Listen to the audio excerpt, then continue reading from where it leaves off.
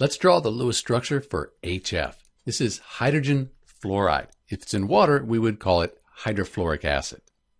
The first thing we do when we draw Lewis structures for compounds like HF, we find the total number of valence electrons. So the periodic table can help us do that. Hydrogen right here, that's in group 1.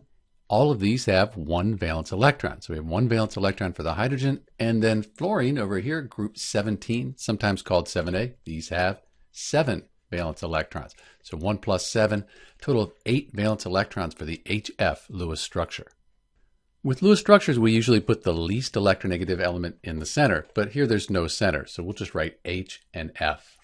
Next, we place a pair of electrons between atoms. That forms the chemical bond. This is a covalent bond between the hydrogen and the fluorine atom. Now we can complete the octets on the outside. Hydrogen, it only needs two valence electrons for its outer shell to be full. So we're done with hydrogen.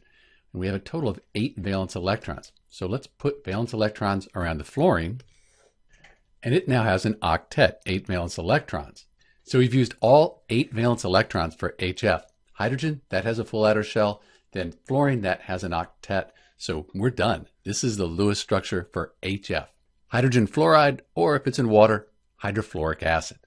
Because there are only two atoms, we would consider this to have a molecular geometry that is linear, the bond angle 180 degrees. This is Dr. B with the Lewis dot structure for HF. Thanks for watching.